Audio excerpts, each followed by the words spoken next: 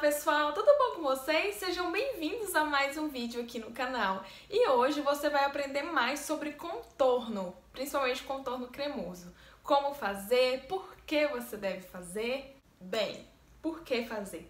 A base, ela uniformiza a pele, ela deixa a pele de uma cor chapada. E o contorno vem para dar profundidade, para realmente ali de fato contornar o seu rosto, porque o seu rosto não é chapado, o seu rosto tem luz, tem sombra, tem profundidade, uh, tem partes mais altas e o contorno vem para fazer isso. Ele pode afinar ou não, tá bom? Não é sempre que o contorno vai afinar, muitas vezes ele só vai contornar ali realmente uh, o que você tem. O contorno faz o efeito de luz e sombra. Então, no contorno cremoso, você vai precisar ou de corretivos, claro, mais claro que a sua pele e mais escuro, ou bases, mais clara que a sua pele e mais escura. No contorno em pó, você vai precisar de bronzer, iluminador, o próprio pó também. Eu acho que todo mundo deve fazer contorno, uh, porque uma pele contornada é muito mais bonita do que uma pele chapada. A pessoa que passa a base, passa o pó compacto ali, no máximo um blushzinho e já tá pronta. Não, nosso rosto ele tem profundidade e a gente tem que fazer isso. Ele pode ser nosso aliado também para afinar o nosso rosto. Eu, no meu caso, não gosto de afinar a mandíbula, eu contorno ela para o meu rosto ficar mais anguloso, daquela impressão de harmonização facial. Então, se você quiser ver na prática como eu faço, é só continuar assistindo o vídeo. Não se esqueça de se inscrever no canal e dar o seu like, hein? Bem, então como nós vamos fazer? Primeiro, você vai analisar o seu rosto. Prende ele assim para trás, analisa, vê o que você quer afinar, o que você quer só contornar, você vai respeitar ali o contorno e a partir dessa análise que a gente vai trabalhar. O primeiro passo é aplicar a base, eu tô usando a da pausa para feminices. Na verdade, o primeiro passo é hidratar a pele, tá bom? Pele que você não usou hidratante e vai passar base, corretivo, ela craquela, porque a base ela tem vários componentes. Só que basicamente ela é feita de água e pigmentos, né? Basicamente, claro que tem muito mais coisa que isso. É, então, se sua pele não tá hidratada, ela vai sugar a água da base, vai ficar apenas o pigmento e aí vai dar aquela craquelada, uh, marcar as linhas de expressão. Por isso que é muito importante passar o hidratante antes, tá bom? Qualquer hidratante, desde que seja facial. É bom sempre passar um pouquinho aqui no pescoço. Agora nós vamos começar a contornar. Como eu disse, pode ser bases, clara e mais escura, ou corretivos. Eu gosto de fazer com corretivos. Se o seu corretivo, se sua base não for tão seca, você pode aplicar, fazer todo o contorno e só depois vir esfumando.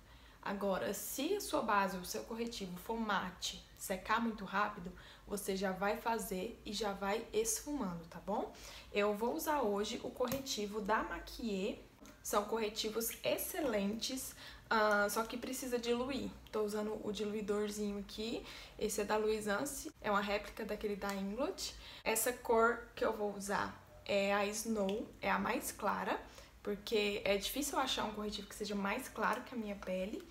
Primeiro você vai começar com os tons claros, tá bom? Gente, eu gravei esse vídeo logo que eu acordei, então eu tava bem desnorteada e agora aqui na edição eu vi que eu não falei sobre a diferença entre o corretivo claro e o escuro. Tudo que você quiser trazer para frente, você vai usar o corretivo claro e para trazer para trás o corretivo escuro, tá bom? O corretivo escuro ele traz essa sensação de profundidade e o corretivo mais claro vai trazer para frente, vai ressaltar e enaltecer. Eu uso os tons claros na minha pele? Sempre aqui na olheira. E eu chego até perto do nariz, tá vendo? Ó, eu faço um triângulo. Para que não fique só a olheira mais clara. Toda essa região tem que ficar mais clara para eu trazer ela para o centro. Então, por isso que as pessoas fazem o triângulo que você vê lá no Instagram, não sabe para que funciona. Uh, depois eu vou fazer um vídeo explicando certinho como afinar o nariz, tá bom? Mas basicamente você tem que fazer bem fininho. Se você fizer pra cá, você vai estar aumentando o seu nariz e não afinando. A linha entre afinar e uh, engrossar o nariz é bem tênue, então a gente tem que ter cuidado. Na pontinha do queixo, toda essa região do queixo, na verdade, aqui na testa, acima da minha sobrancelha.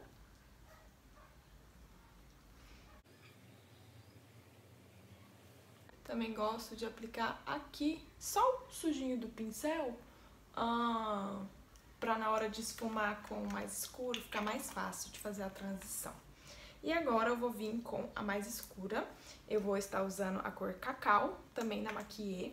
Esses da Maquier, ele tem é, cobertura alta, então não precisa fazer com ele, eu faço realmente porque eu gosto, eu uso ele uh, na maquiagem profissional, eu uso ele nas minhas clientes porque ele cobre bem, então é isso. Sempre aplique o tom mais claro, para você não precisar usar dois pincéis, né? Você vai estar tá usando só um. Se você começar com a cor mais escura, vai manchar a parte clara. Então, diluo aqui. E agora eu venho aplicar na testa. Se você tiver a testa uh, grande, desce um pouquinho a mais aqui, tá bom? Pra dar essa impressão de testa menor. O narizinho, ó, vou vir bem rente.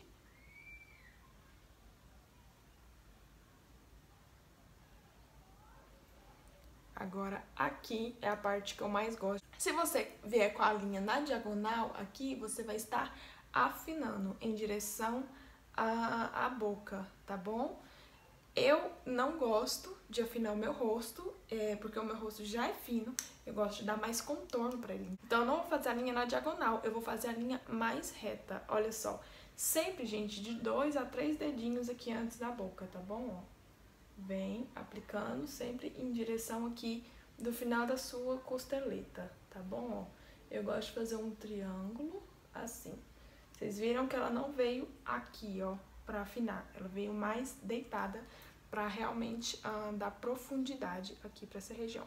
Aí você se olha de frente, pega um espelhinho assim pra olhar. Ó, quero dessa forma, tá vendo? Que criou um ângulo aqui bem legal.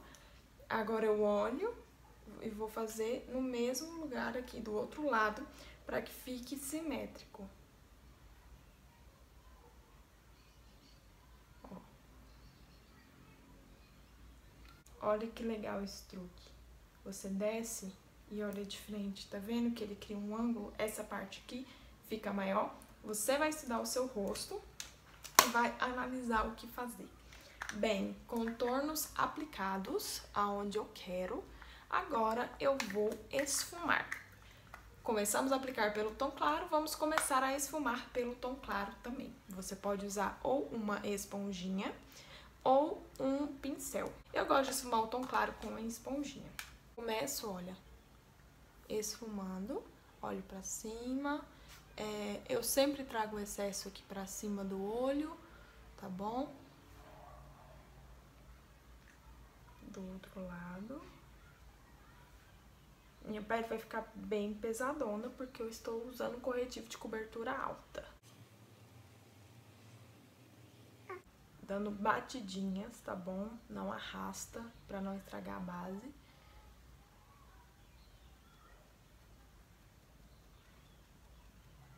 Dou batidinhas aqui na divisão pra já ir mesclando, tá vendo? Eu desci muito o escuro, eu não preciso descer tanto assim, tá bom? Porque a testa não é muito grande. Esfumar aqui. O daqui, como eu usei só o excesso, eu nem passo a esponjinha, eu já venho com o pincel de base. Aqui no meio, na pontinha do nariz. E aí eu já começo a esfumar aqui o, o, o tom mais escuro também.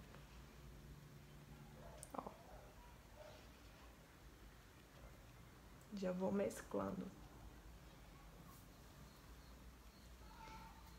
Com o pincel, vou começar a mesclar aqui na testa. Ó. de dentro para fora.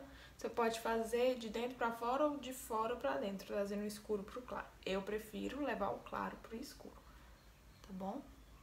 Ó, aqui eu começo de cima para baixo. Vou dar primeiro uma mesclada aqui, ó, nessa parte. Vou trazer o claro para ele e depois vou levar o escuro para ele.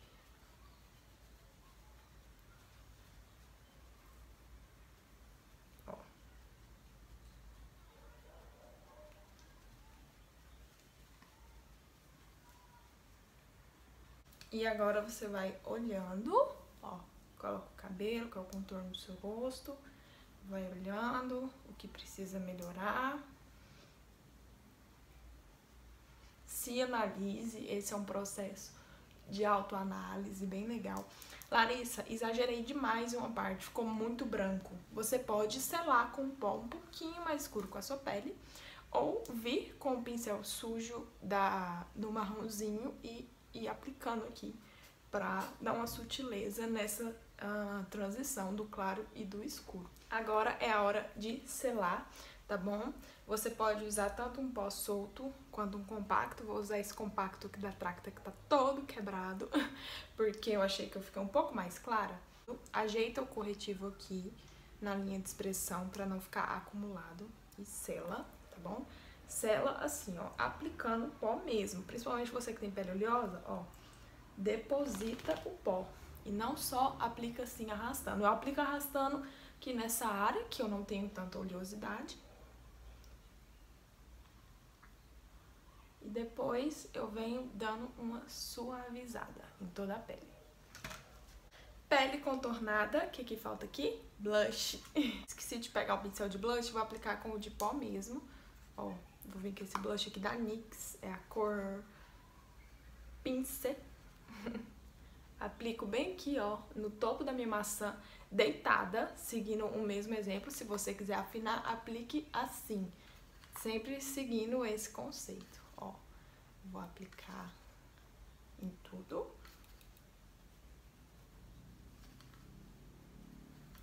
E é isso. Agora, pra eu ficar menos fantasma assim, eu vou fazer um olho aqui rapidinho. Prontinho, já tirou aquela cara de morta. Ó, fiz um olhinho bem básico, esfumadinho, nem coloquei cílios postiços, só rímel, batonzinho leve, pra o foco ser realmente a pele. Olha só que diferença, gente. Eu espero que vocês tenham gostado tenha ficado claro, fácil de entender. Não se esqueça de se inscrever no canal, tá bom? Um beijo e até o próximo vídeo.